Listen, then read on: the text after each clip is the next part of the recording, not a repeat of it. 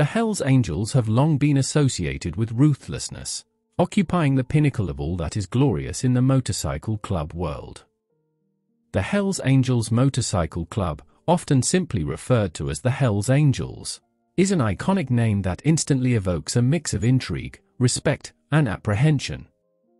Established in 1948, this motorcycle club has grown to be a global phenomenon, with chapters spread across continents.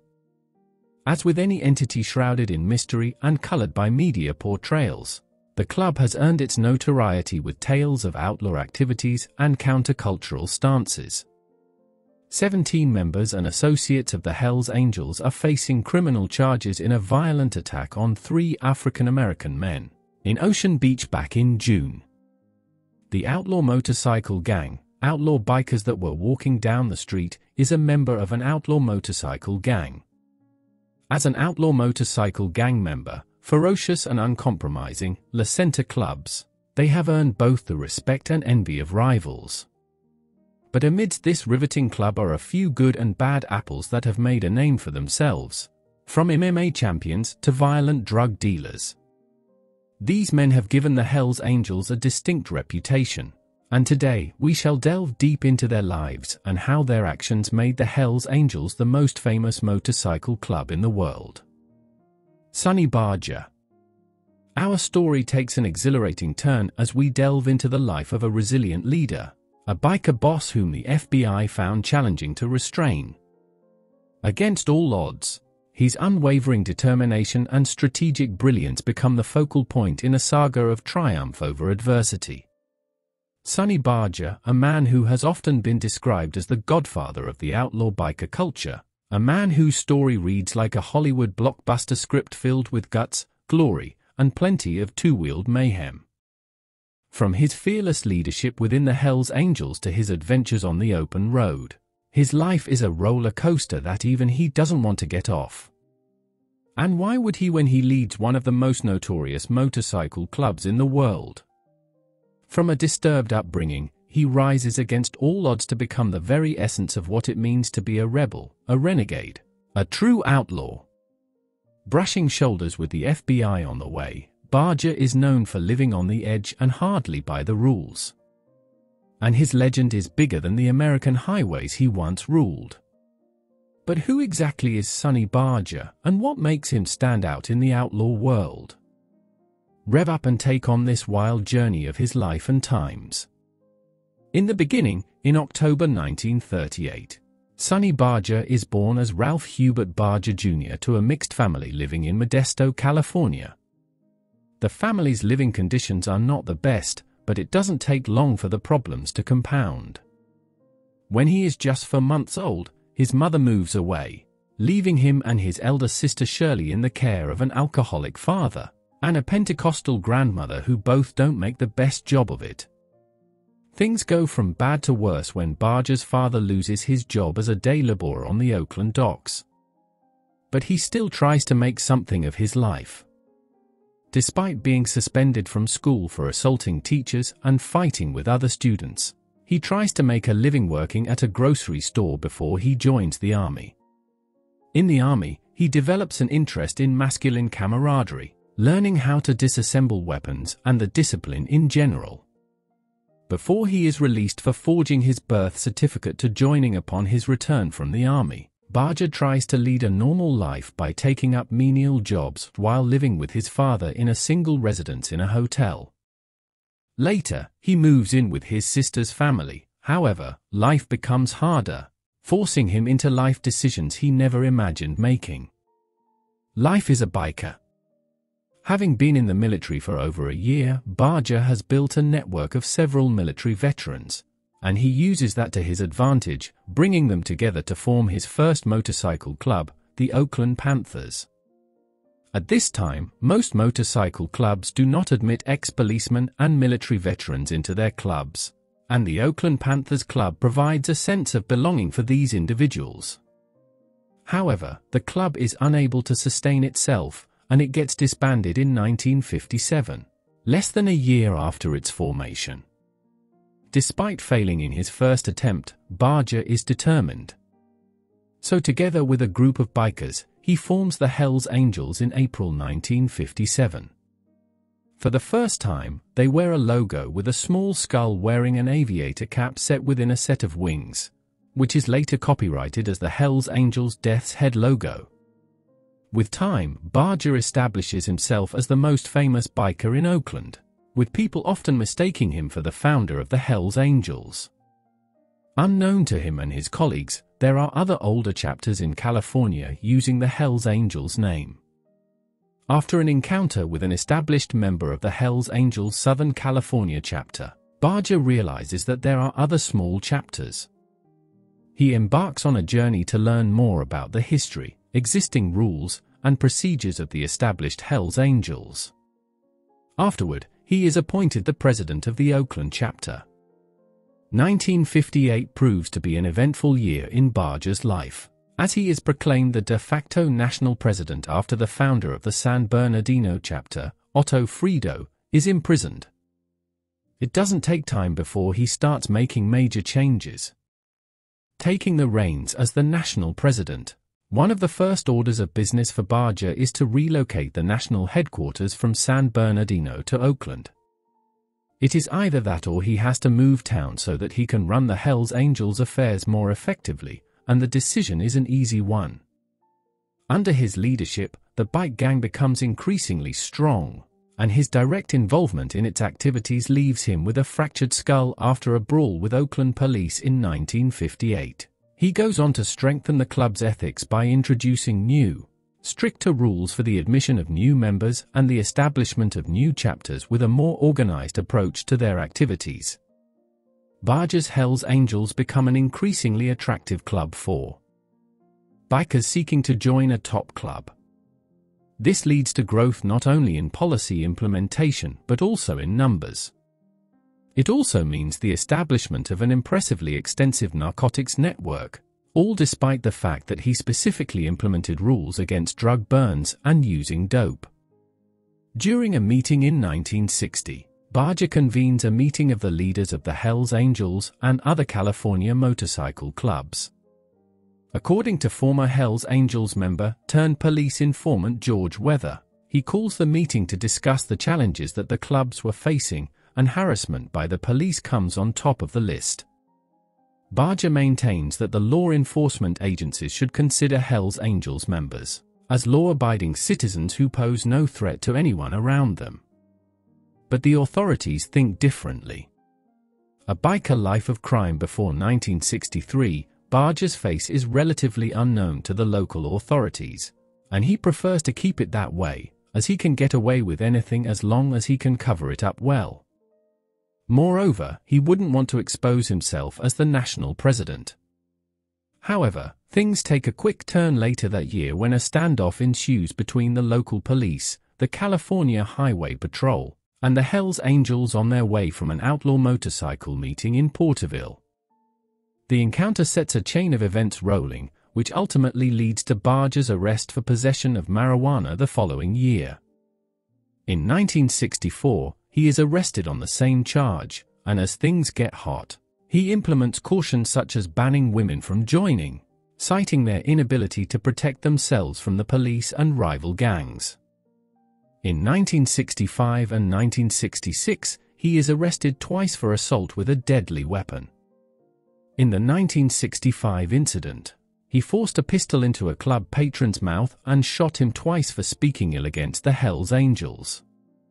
Even rival gangs are not spared from Barger's rage, and they found out the hard way when some of them stole his bike, and he had them whipped with bullwhips and beaten with spiked dog collars before using ball-peen hammers to break their fingers.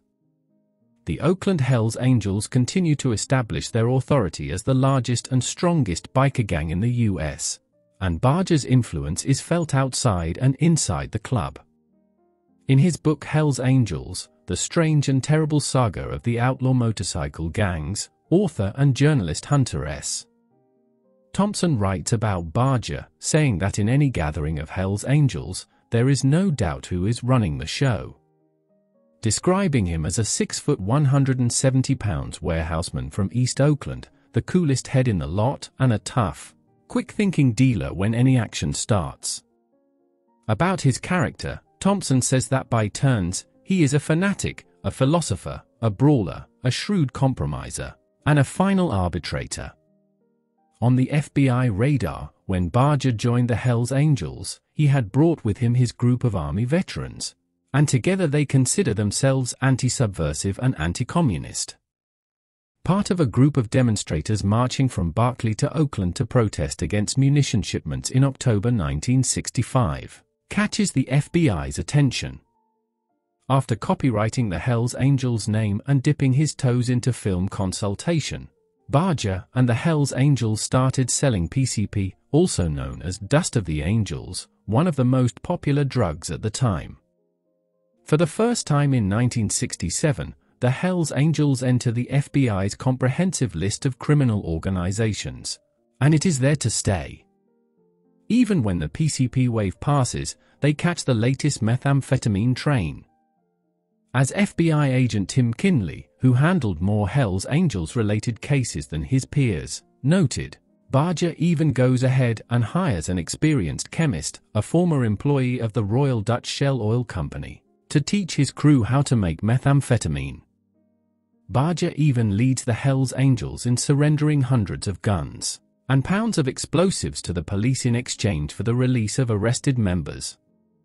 The exercise continues for five years, during which their main focus is on drug dealing.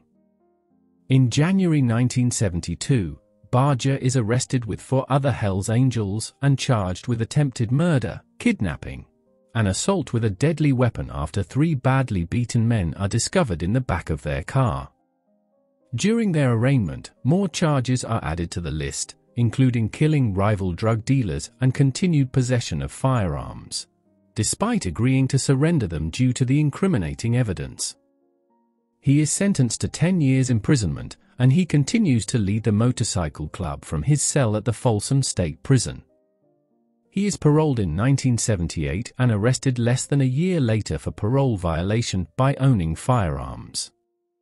However, his wife admits that the firearms are hers, and he is acquitted in the RICO trial in what is the most substantial effort yet by the FBI and local authorities to bring down Barger and the club for good. He and different associates from almost every Hells Angels chapter are indicted on Racketeer-Influenced and Corrupt Organizations Act, RICO e statutes in June 1979. The prosecution team representing the government in the trial tries to demonstrate a pattern of behaviors, but the FBI, through McKinley, feels like the case is poorly prepared. Moreover, the FBI doesn't even have enough surveillance evidence to support the case, and the trial ended in a mistrial, leading to Barger's release. Inside Operation Cacus, losing the RICO case fuels the FBI into a more cautious and calculated approach to gathering evidence. But first, they have to find someone to help them gather inside information, and they find the perfect man, Anthony Tate. Tate, being the sergeant at arms of the Alaskan Hells Angels chapter, is close to the higher-ups, and he is more than happy to help for a fee. The FBI wants to take their time, and Tate's availability commences a three-year nationwide organized crime drug enforcement task force investigation which would come to be known as Operation Cacus. During the course of the operation, Tate is tasked with going around the country buying firearms, drugs, and explosives from various Hells Angels chapters. He also wears a wire to record major meetings, especially as Barger was involved. In one recorded meeting, Barger praises Tate for representing the Hells Angels of the 90s due to his efficiency in every task he carried out for the club. Tate becomes one of Barger's right-hand men, and he records their conversations and errands for the FBI. Over the next three years, the FBI gathers enough evidence, and they decide to act on their intelligence. In 1987, just before the bombing of the outlaw Chicago headquarters as retaliation for the murder of an Anchorage Hells Angels member, on the 10th of November, 1987, a total of 38 Hells Angels leaders, members, and associates are arrested in California, Alaska, Kentucky, and North and South Carolina on various conspiracy, weapons, and narcotics charges. Barger is arrested on the same day in the Bay Area, where over 400 FBI, ATF, and California state police officers raid homes and establishments believed to house Hells Angel members. Most of the members are charged with drug offenses, but Barger and his right-hand man, Michael O'Farrell, are also charged with conspiring to violate federal firearms and explosives laws. The trial goes on for three months, and its costs are up to $1 million before Barger is sentenced to 57 months in prison. He still tries to appeal the decision, but the decision is upheld, and he spends four and a half years in prison before being released in 1992. Upon release, Barger receives a lot of attention from journalists seeking interviews to the outlaws who still have a grudge with him. However, Barger steps down from the Hells Angels leadership group before he died of liver cancer in his California home in June 2022. George Christie Imagine a character who transcends the boundaries of a motorcycle club, leaving an everlasting impact on the wider cultural canvas. That's who this next story is about. A man who not only withstood the trials imposed by the Hells Angels, but also emerged as a force that transformed the club's perceptions. His story is more than just bike revs and leather jackets. He is fearless, charismatic, and uniquely able to navigate through the rough and tumble of the biker gang world. Christie's story is one for the books, and with the experience he racks up, he is like a walking encyclopedia of Hell's Angels history, filled with tales intriguing enough to have anyone on the edge of their cozy Harley-Davidson bike. But how does a man who initially joined the club on probation rise to become one of the most visionary Hell's Angels leaders? How is it that even after getting on the FBI's most wanted list, he is still influential in the Hell's Angels biker gang? Well, it's a mystery we are more than willing to unravel together, so buckle up and let's hit the open road. Where the story began, born in 1947 to Greek immigrant parents living in Ventura, California, George Christie Jr. is brought up in a loving, protective, and gentle family.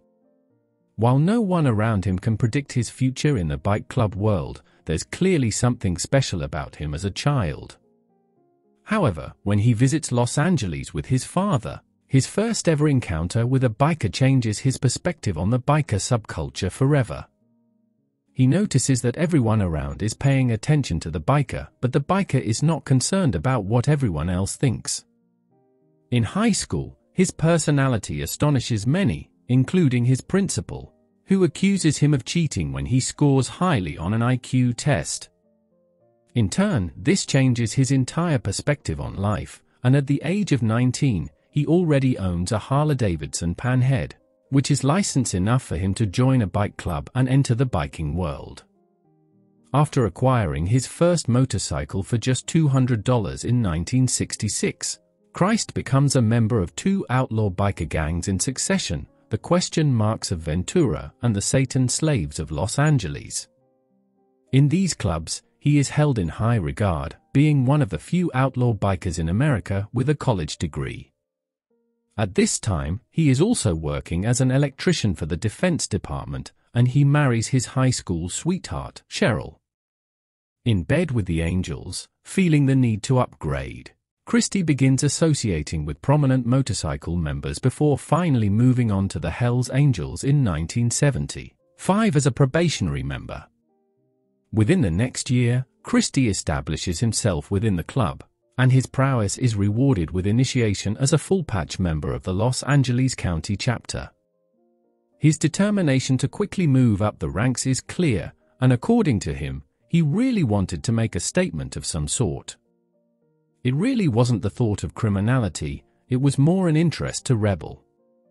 It was a commitment most learn real fast. In the 1970s, the concept of bike gangs is still new, and rivalries are not established. As Christie recalls, conflicts are not taken all that seriously, and instead of getting out guns after a fight, the losers would just buy breakfast. One of the reasons Christie falls in love with the biker gang is their inclusivity. Despite him being married and having children, he is fully accepted. He carries out club duties during the weekends and at night, as he is committed to family and work matters. But that doesn't prevent him from being elected to the chapter's president seat just six months after becoming a full-fledged member. However, the Hells Angels culture gradually changes with the establishment of more rival gangs. In the first brawl of its kind, which would change the history of the Hells Angels, Christie and nine other members are at a motorcycle swap meet in Anaheim when they are attacked by the Mongols. The Mongols attack the defenseless Hells Angels in their numbers, but Christie and his friends manage to leave most of them with serious injuries before leaving. After that, the Mongols wear a patch reading California on their attire to show that they were the ones in charge. The Hells Angels have to take serious action before the disrespect escalates, and in July 1977, they vote unanimously to defend their territory by all means necessary, even if it means declaring war on their rivals who are not ready for what comes next. In the next four months after the vote, an escalation in violence leads to the deaths of four Mongol members and an innocent 15-year-old boy during various shootings and bombings around San Diego and Los Angeles. Within the first five months of 1978, Christie manages to oversee the establishment of two new Hells Angels chapters, the Chatsworth-based San Fernando Valley chapter approved by the Oakland Hells Angels leaders and formed by members of the Satan Slaves who patch over in numbers, and the Ventura County chapter, which he subsequently forms. As things continue to heat up, he is fired from the Defense Department due to his Hells Angels connection. But he is already the most popular man in Ventura County, dominating its political and economic life. While his image in the county is admirable, in 1983, the California Organized Crime Control accuses the bike club of being the epitome of all outlaw motorcycle gangs. Claims he denies, stating that it is merely a motorcycle club and a family. In efforts to further discredit the Hells Angels and depopularize them in Ventura, the Bureau of Alcohol, Tobacco, Firearms, and Explosives, ATF, circulates a rumor that the gang plans to disrupt the 1984 Summer Olympics set to be held in Los Angeles by supplying weapons to terrorists for an attack on Lake Casitas, which is hosting water sports. The ATF even visits business people in the county with pictures of Christie and other members to try and discredit them and assassinate their characters.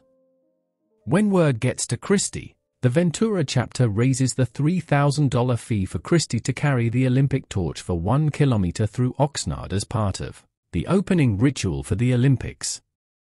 Christie achieves the feat, and he is cheered on by numerous Hells Angels, Crucifiers, and Heathens Bike Club members. When he arrives in a remote PE field outside Point Mugu, the Olympic officials are initially unaware of the donation check, which is signed HCUS. But when Christie calls to explain that he wanted the money allocated specifically for a Special Olympics chapter in Pottstown, Pennsylvania, he is told that the donations are not designated directly for local programs. He sues the Los Angeles Olympic Organizing Committee twice, lawsuits which are both thrown out, especially as every document he submits is stamped with the Hells Angels death logo. With the controversies being aired on national television, Christie is now considered the second most powerful Hells Angel in the United States, behind only the international president Sonny Barger. He firmly denies the claims to avoid the attention on him, but is he a bit too late? On the radar and a close call after the 1984 Olympic saga, Christie opts to lie low. But he can only do so for so long before Sonny Barger is diagnosed with throat cancer, loses his voice, and Christie has to become the public face of the Hells Angels. If the Olympic lawsuit had already brought Christie to the attention of local law enforcement authorities, becoming the face of the club did more than that. The attention brings the FBI to his doorstep, and a sting operation against him is launched in 1986. In need of someone to lure Christie into their trap, the Bureau assigns Michael Mulhern, a senior member of the Mexican Mafia and an FBI informant, to the case. Mulhern is told to make Christie an offer to hire the Mexican Mafia to kill Thomas Arthur Cheney, a former Ventura Hells Angel who outed the club's drug operations to the federal authorities. and was being held in the Federal Correctional Institution in Safford, Arizona. Every conversation between them is recorded and delivered to the FBI, and Christie eventually takes the bait, offering Mulhern $500 and a 1973 Pontiac automobile for Cheney's head. Once the deal is on, the Bureau fakes Cheney's death, and Christ is arrested red-handed in the process of delivering Mulhern's pay in a motel room. Despite the numerous recordings and physical evidence presented, Christie has since maintained his innocence, claiming that the money was for old debt repayment and not payment for murder. However, once Mulhern gives his testimony in court, Christie seems to be in hot soup. However, his attorney is too good to be beaten, maintaining the argument that the authorities were retributive after Christie had accused them of harassing the club members and using the fame he gained after the 1984 Olympic torch relay to call them out publicly. Moreover, when the attorney puts Mulhern on the stand, everyone in the courtroom is led to discover his true identity as unlikable, insincere, and a pathological liar. As a result, the federal prosecutors are severely embarrassed, and with their case relying on their star witness, Christ is acquitted. He proceeds to host a party at the Hells Angels Ventura clubhouse in the attendance of the members of the jury that set him free. It also serves as a fresh start to a life he never imagined himself living. Fame, fame, fame. After his heroics in court, Christie becomes more famous than ever, and the reputation of the Hells Angels rests in his hands. His influence is felt not only in the towns, but also in schools, where he is invited to speak at high school and college graduation ceremonies. This only makes his role in the Hells Angels more prominent, making him a media darling. With the Hells Angels' foothold in the US increasing, the club files a federal trademark infringement suit against Concorde New Horizons for producing a film with Hells Angels in it, without permission. A case that is ultimately settled out of court. In all his interviews, Christ insists that the Hells Angels as an institution are not involved in drug dealing, and that any member court engaging in drug dealing is thoroughly punished, even though law enforcement has a different opinion. A police officer in Ventura County even says about the club that they've taken the position right from the start that if they don't screw up in Ventura very much, there will be no reason for the police to hassle them, and that has been pretty much the case the Hells Angels locally have been involved in very few provable criminal incidents. The authorities also believe that by building a good reputation within the community, Christie ensures that the Hells Angels are too careful not to get caught, and if they are, they can get away with it. On his end, he runs legitimate businesses, including a tattoo parlor, a martial arts studio, a bail bonds firm, and a pornographic company. He also loves teaching karate and kung fu, which all create the perfect cover. However, it's only a short time before some fresh blood in the club begins to show themselves off, making them easier targets for the police and creating a major problem for Christie. Allegations and convictions. Despite already doing a good job of making the Hells Angels famous, Christie embarks on a journey to move the club forward and into the next century. And how does he do it? Starting with his 18-year-old son, George Christie III, he encourages a bunch of young boys to join the club, much to the annoyance of the older group. He even grants his son a full patch membership against the club rules that he must have attained the age of 21.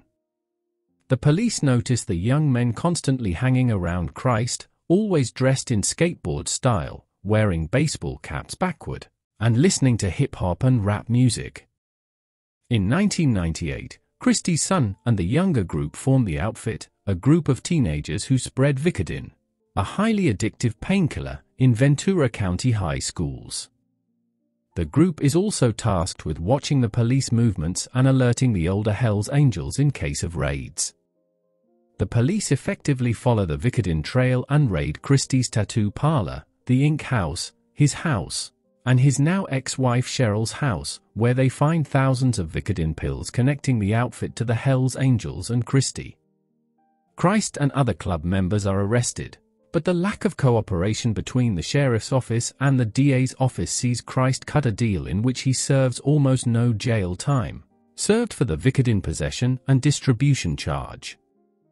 For other counts, Christie only pleads guilty to possession of 2 grams of cocaine and methamphetamine and being under the influence of a controlled substance, which gets him 8 months of probation. Meanwhile, with his father's arrest and arraignment, Christie 3 gets a taste of how life in a biker gang can be, and he resigns to become a chef and lead a normal life.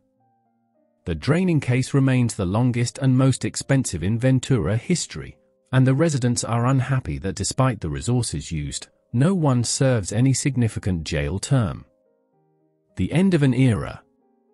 In April 2011, Christie announces at a meeting that he is leaving the Hells Angels on the grounds that the club is too competitive which may lead to internal struggles. Having done more than enough to establish the club as a dominant force among other outlaw biker clubs, he is expected to keep his jacket with the Hells Angels patch. But he instead returns it, saying that he is no longer a Hells Angel for good. However, claims later surfaced that he was forced out of the club, especially fueled by his successor Scott Sutton, who claims that he retired because he was about to be expelled for abuse of power. Even Sonny Barger bans all Hell's Angels from having any contact with Christie, proving that there were other mitigating factors behind his retirement.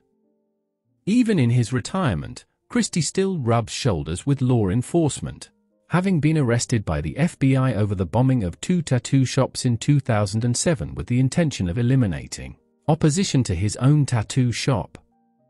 He pleads guilty to one charge in exchange for the others being dropped, for which he serves a 10-month sentence at the Federal Correctional Institution, Lompoc. While he hardly speaks about his time with the Hells Angels, the 2013 documentary The Last American Outlaw, and his 2016 memoir Exile on Front Street, give a detailed account of his life events and his contribution to the club's fame, which cannot be understated. Christian Earland in the dark underbelly of Frankfurt, where secrets and shadows intertwine, one man rises to defy all expectations. He is a popular MMA champion with a string of brothel and strip clubs in Frankfurt. However, he is married to the daughter of a notorious Hells Angels boss and is a member of the club himself. This surprisingly loving family man presents his extraordinary life on social media with success, garnering hundreds of thousands of fans and giving him influencer status. He does not shy away from promoting the Hells Angels, but how does a boy from humble beginnings rise to become a prominent German Hells Angels? Influencer born in the bleak November of 1986, Christian Ireland is an unassuming boy hailing from a town near Frankfurt. He starts life with big dreams, with becoming a professional football player topping the list. He gets closer to this dream when invited to a trial session with a renowned football club at the tender age of 16. On the first training sessions, he flops, but the coach sees a relentless fire burning within him and gives him a second chance. His relentless ambition and unwavering dedication lead him to sign a contract with SV Darmstadt 98. For years, he toils in the second league, striving for greatness, but success in football remains elusive. A twist of fate propels him towards a new path. ES' appetite for more than just football becomes evident. Since the age of 15, he hones his skills in the boxing ring alongside his football pursuits. An unexpected altercation at a party becomes a turning point when he defends himself against four attackers, leaving three of them sprawled on the ground. Here, Daniel W.L., a professional MMA fighter, witnesses his remarkable abilities and extends an invitation to train. Mixed martial arts, MMA, becomes Eckerlin's new passion, a combination of Brazilian Jiu-Jitsu, boxing, Muay Thai, and wrestling. Christian, as a fighter, is dedicated. He gives his all in the gym, obsessed with MMA. By the age of 19, he is winning professional fights, demonstrating unparalleled dedication.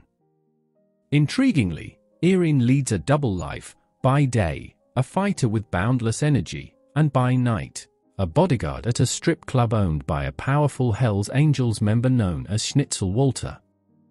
Destiny brings Eos path to cross with Domin, the boss's daughter, on a fateful night. Back in Germany, he is asked to keep an eye on her multiple times, leading to them falling in love. Yet, Christian's life is anything but a fairy tale. A good friend, Neil Schlagel, emphasizes the importance of finding a sponsor for success in the MMA scene. Schnitzel Walter, the powerful German Hells Angel, agrees to fund him. Ready to take off, Christian meets world champion MMA fighters like Georges St. Pierre, improving his technique and coordination. Eckerlin's exceptional dedication pays off with six consecutive wins. He feels untouchable, becoming a GMC welterweight champion and receiving an award for the GMP 1 Knockout of the Year in 2010. However, in the following years, maintaining his streak becomes challenging. Fights against experienced MMA talents inside the Russian M1 Global League, including Arsen Tamir Khanov and Razel Abdullaev, in front of over 20,000 fans, prove tough. The relentless world of MMA takes its toll, with a string of defeats leaving Irin with a broken hand, prompting a temporary withdrawal from the sport. He ventures into the brothel business, managing his boss's establishments, further entangling himself in the web of the Hells Angels. Today, Irin runs three brothels and one table dance bar. He is also a member of the dreaded Hells Angels Motorcycle Club, an underworld empire presided over by his father-in-law Schnitzel Walter, who wields control over Frankfurt's red light district. Eckerlins Allegiance to the club is unwavering, proudly displayed through tattoos, including the infamous death's head bearing the number 81. Irin now manages most of his strip clubs because his former boss and father-in-law want to slow down a bit after decades of hard work. He doesn't talk much about this topic on social media, but confirmed it during an interview, stating, Are you a member of the Hells Angels? For the viewers, I don't really care. Yes, yes, I am, and I have nothing to hide. I've got lots of friends there, and yes, no doubt. In 2017, Ireland makes a triumphant return to the MMA arena after being away for four years. His opponent, Giovanni Melillo, a formidable adversary, marks the beginning of a remarkable comeback. After knocking him down, Irin wins his next seven fights undefeated. However, the passionate biker faces the most controversial fight of his life on June 4, 2022. In front of a roaring crowd of 10,000 fans in Frankfurt, Ireland faces Denilson Neves Traitor de Oliva, a renowned Brazilian fighter. In the first round, Oliva throws a kick that the referee calls a low blow, ruling it as an illegal strike. Irin is given a second chance through an injury timeout, recovers, and manages to finish his opponent in the second round via ground and pound TKO. However, after the bout is reviewed by the governing body of MMA in Germany, the result is changed to no contest, indicating that neither of them had won. Unsatisfied, Irin immediately demands a rematch. The rematch, held on October 15, 2022, sees Irin confront his opponent with unwavering determination. All tickets are sold out, and rounds of grueling combat lead to an electrifying climax as Ireland secures victory through a rear-naked choke. It is a moment of redemption and triumph, solidifying his legacy in the MMA world. But beyond the cage and the shadows, Christian Irin leads a life of contrasts, a loving father, a producer of YouTube videos, and a connoisseur of sports cars.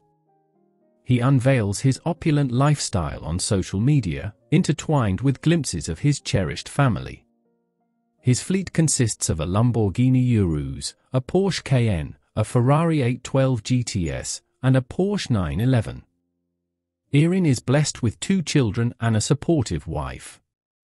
Despite his martial arts background, he is a calm and loving father.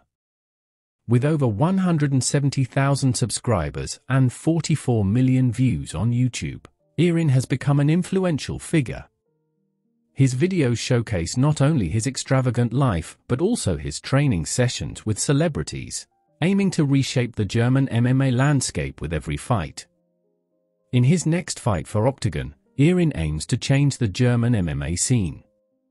His opponent hasn't been revealed yet, and we can only wait.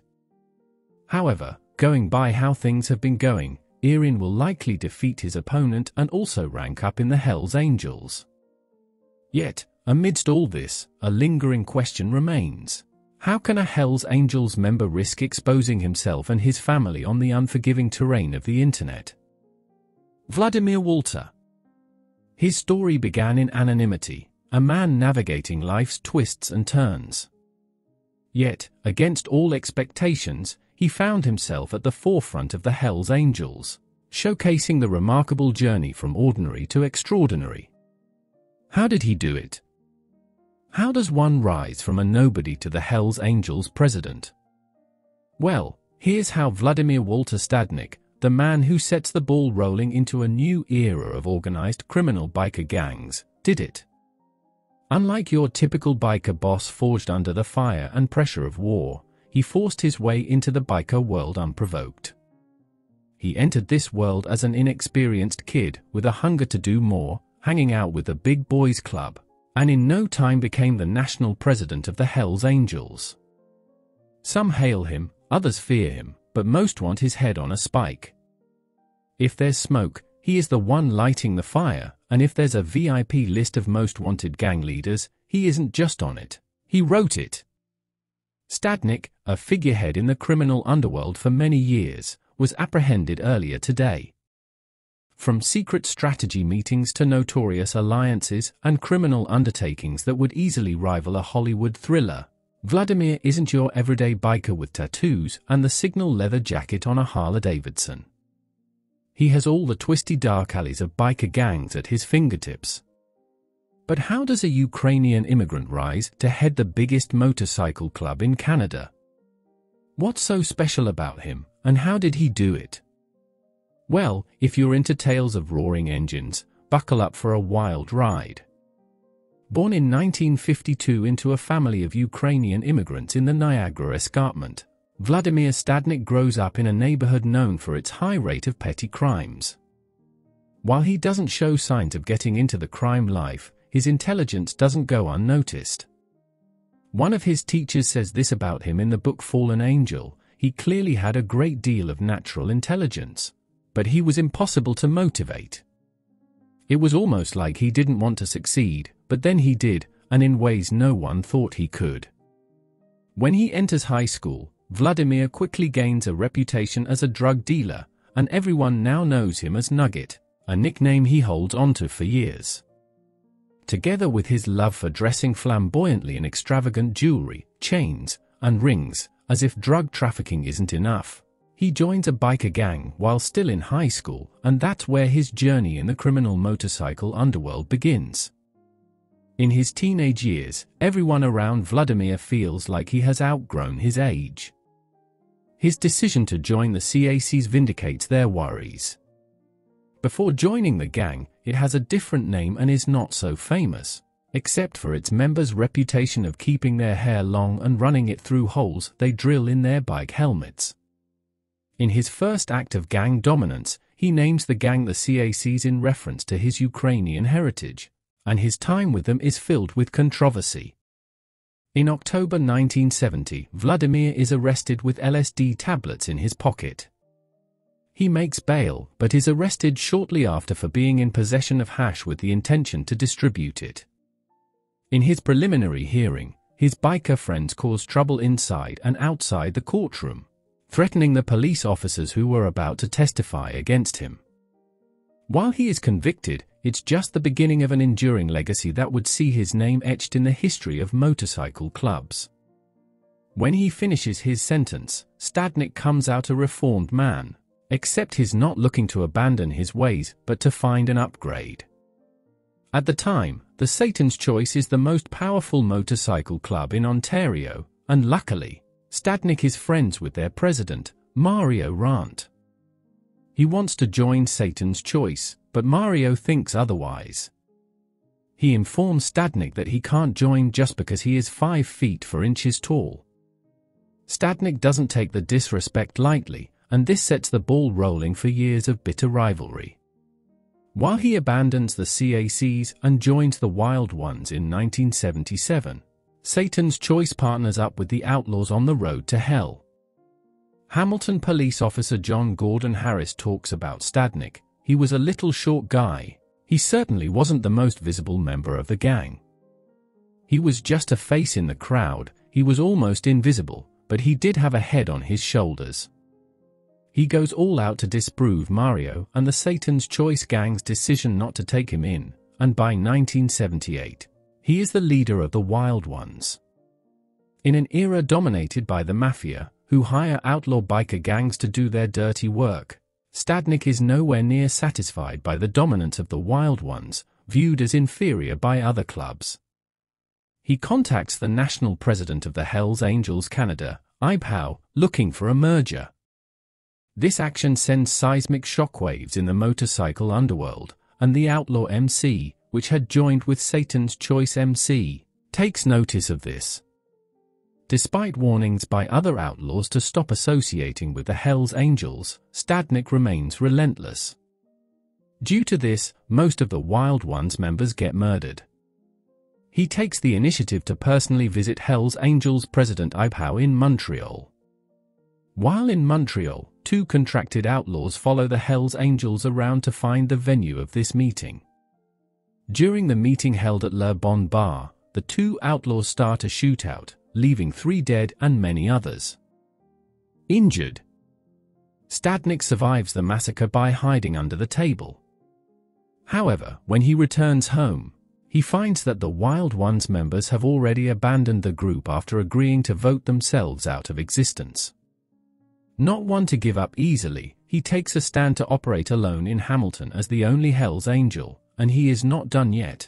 This is just the beginning. By 1982, Stadnick had risen through the ranks to become a respected member of the Hells Angels, and his ambition clearly beats his inability to hear and speak French.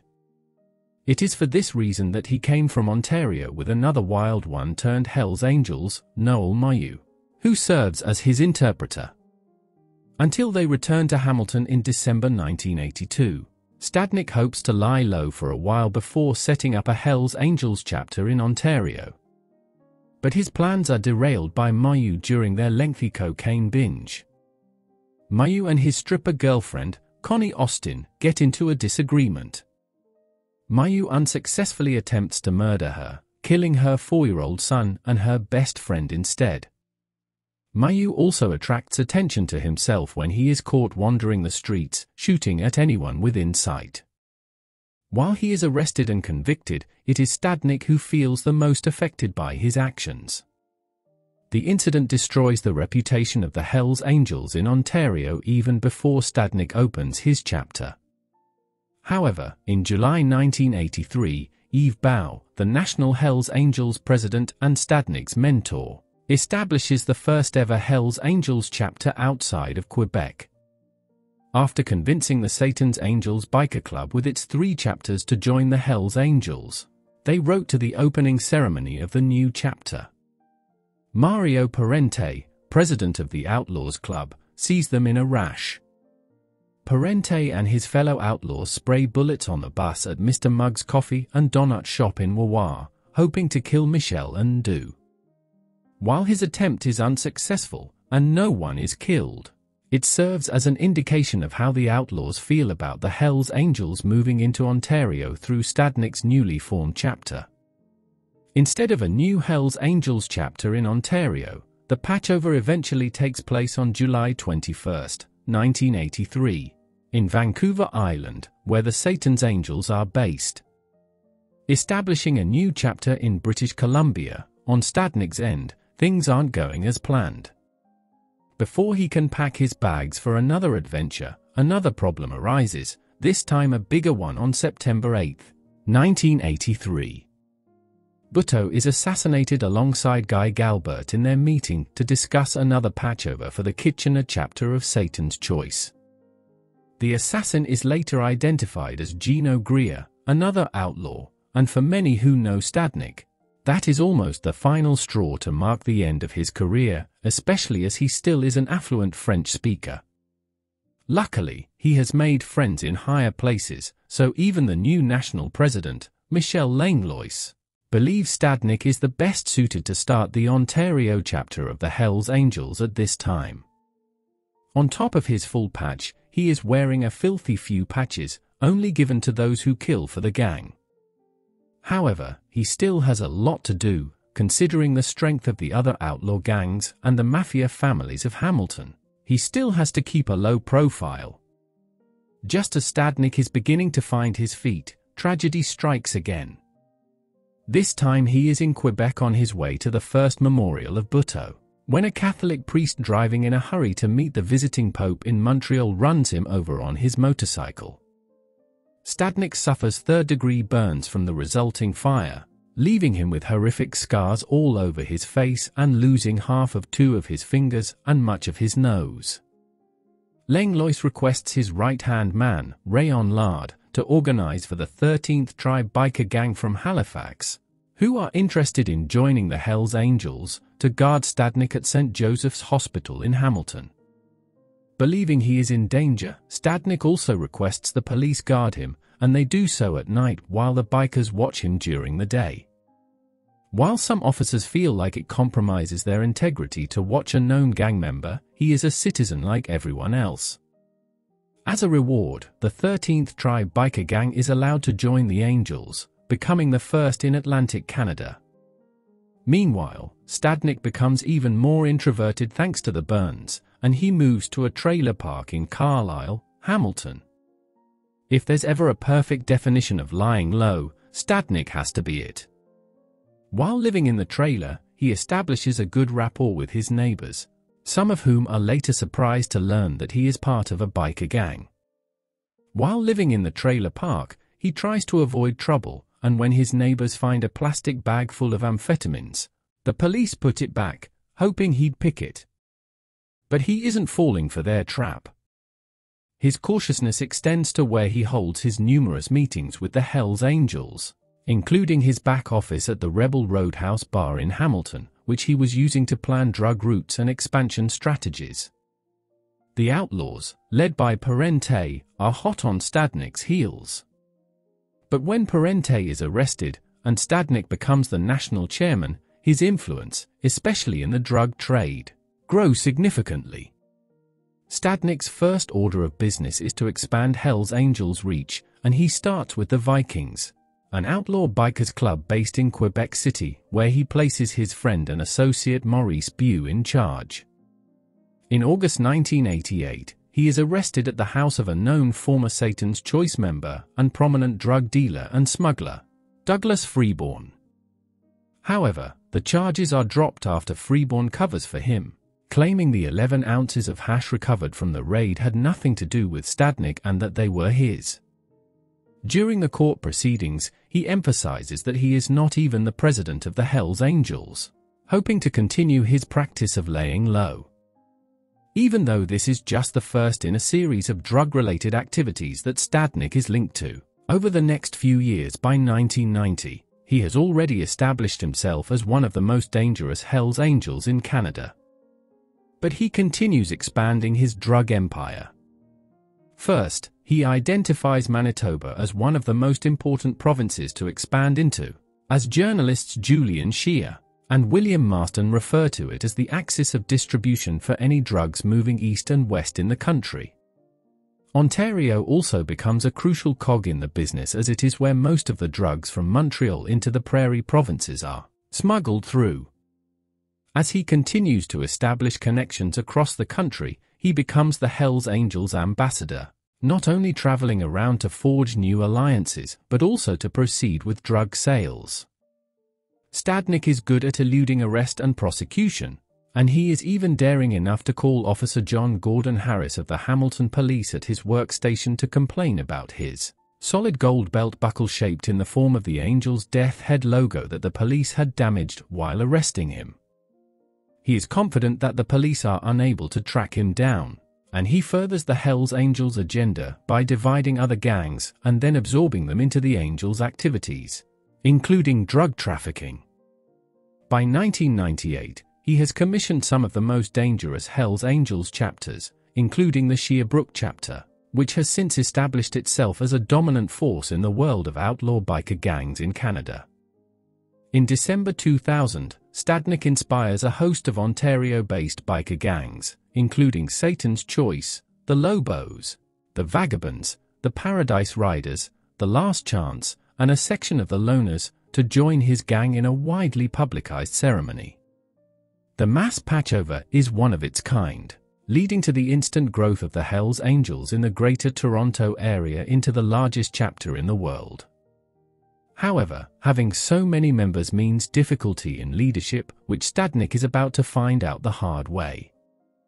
In 2003, the sloppiness and mismanagement of information by some high-ranking officials working alongside Stadnick led to his arrest in Mexico. He is brought back to Canada and charged with 13 counts of murder, 3 counts of attempted murder, 1 count of conspiracy to commit murder, 2 counts of narcotics trafficking, and two counts of attempting to smuggle narcotics. While the charges don't stick due to a lack of concrete evidence, he knows the police are onto him, and he opts to lie low and put a hold on his quest for expansion. But he can hide for so long before he is arrested again in 2004. This time, the police are prepared to put an end to his reign of terror, and he is sentenced to 20 years imprisonment for convictions ranging from conspiracy to murder to drug trafficking and involvement in gang activities. In 2014, he is paroled with strict instructions forbidding him to avoid any contact or association with biker gangs for five years, after which he walks back into the Hells Angels world. By the time of his conviction, Stadnick has played his part in ensuring the Hells Angels are set for life having grown them in numbers and strength. From being born to immigrant parents to becoming one of the most influential figures in the history of the Hells Angels, Stadnick's journey is nothing short of remarkable.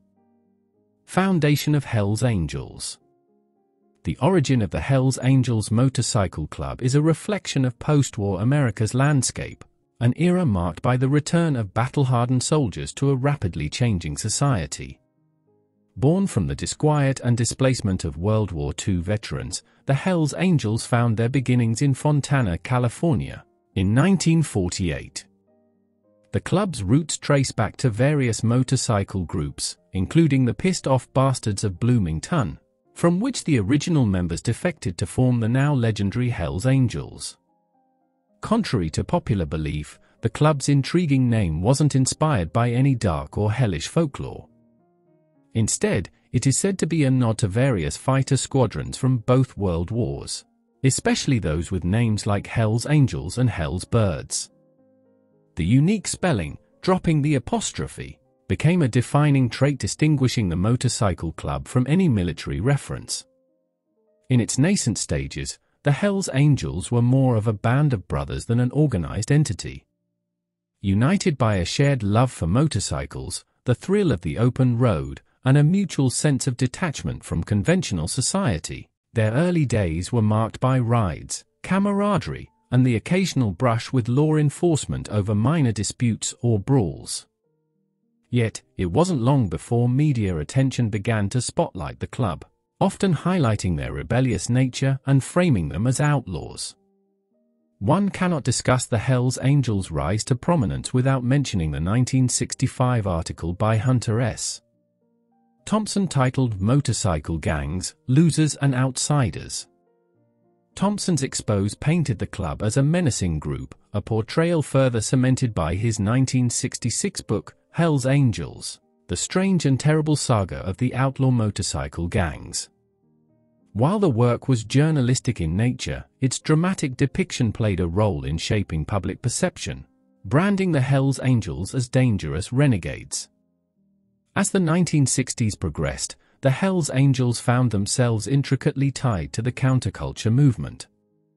Their presence at the infamous Altamont Free concert in 1969, where they were hired as security, led to a tragic incident that left a man dead. Further complicating their public image, This event became symbolic of the end of the peace and love era and the beginning of a more turbulent decade.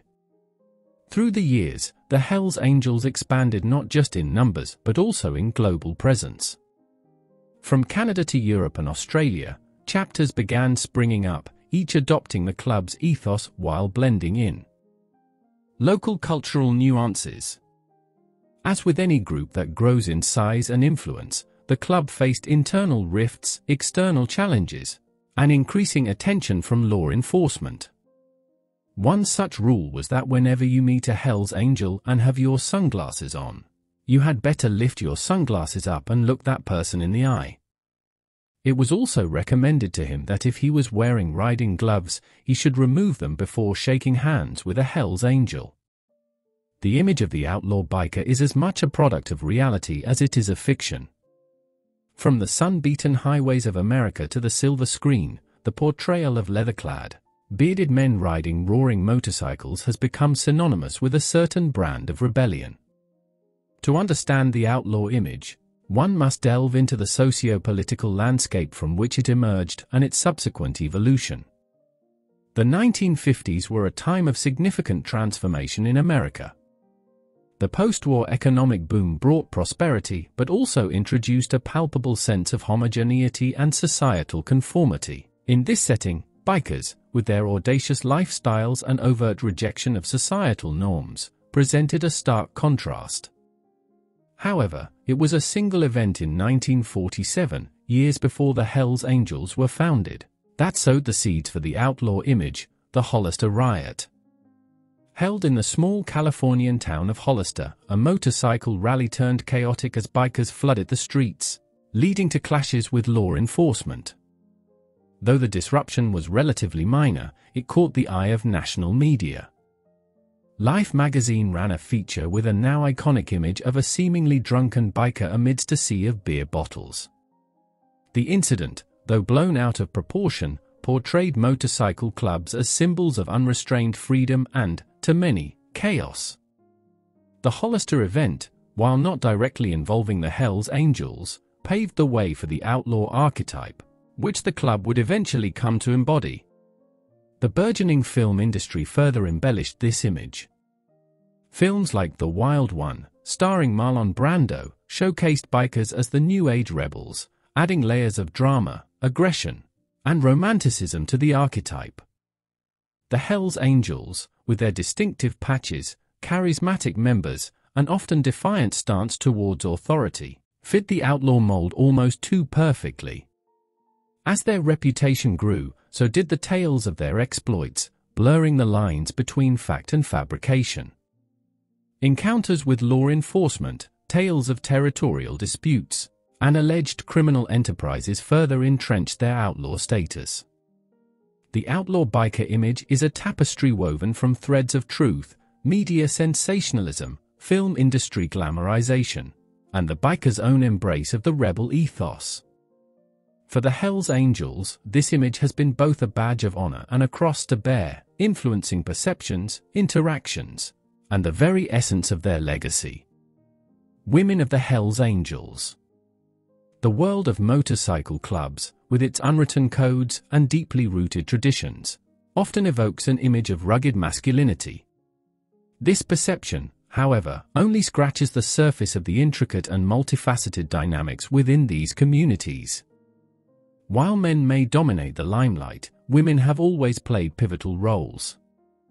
Their presence, both revered and at times contentious, historically affiliated with motorcycle clubs, were commonly referred to as old ladies, a term of endearment and respect signifying their status as the primary female partner of a club member. Being an old lady meant sharing in the club's lifestyle, its highs and lows, and enjoying a place of honor within the club's familial structure. These women were not mere bystanders, they often participated in rides, events, and even club decisions, albeit informally. However, the title of an old lady also bore the weight of certain expectations. Loyalty to the club and, more significantly, to her partner was paramount. In many clubs, women didn't wear the club's official colors or patches, but they might don badges that signified their association often denoting them as the property of a particular member. This concept of property has been contentious, with some perceiving it as a sign of possession or control, while others within the club culture see it as a badge of belonging and protection. Parallel to the old ladies, there have been instances of women who maintained a more casual association with the club, often termed sweet butts or the mamas. Their relationships with club members were less formal, sometimes fleeting, and they didn't possess the same status as an old lady. Their role was more fluid, often influenced by personal relationships and the particular dynamics of individual chapters. As with any subculture, the experience of women in the motorcycle club world varies widely, influenced by geography, club specifics, and individual personalities. However, it's undeniable that their roles, whether as old ladies, casual associates, or members of all-female clubs, have significantly shaped the landscape of motorcycle club culture. Their stories, though less often told, offer a unique lens into the heart of a world that, for all its rough exterior, is deeply rooted in bonds of love, loyalty, and shared passion. Within the intricate tapestry of motorcycle club culture, certain terms and titles carry weighty implications, none more so than the revered designation of an old lady. At a cursory glance, the term might seem antiquated or even derogatory, but in the lexicon of the Hells Angels Motorcycle Club, HAMC, and similar organizations, being an old lady is a role steeped in respect, responsibility, and a deep sense of belonging. One of the most emblematic symbols of an old lady's role is her vest or patches, while she doesn't don the club's official colors or main patch, she might wear badges that signify her association. Among the most debated of these symbols is the property of patch. To outsiders, this patch can seem possessive, even misogynistic. However, within the club, it's often viewed differently. While the notion of being property might seem antithetical to modern ideals of partnership in the context of the HAMC, it signifies protection, commitment, and a deep bond with a member. The world of an old lady is not without its challenges. The very nature of motorcycle club culture, with its frequent rides, late-night meetings, and brushes with the law, means that she often has to stand strong, managing home and hearth and sometimes facing societal judgment. Yet, many old ladies embrace their roles with pride. For them, the sense of community, the bonds forged with other women in similar roles, and the passionate commitment to their partners make the challenges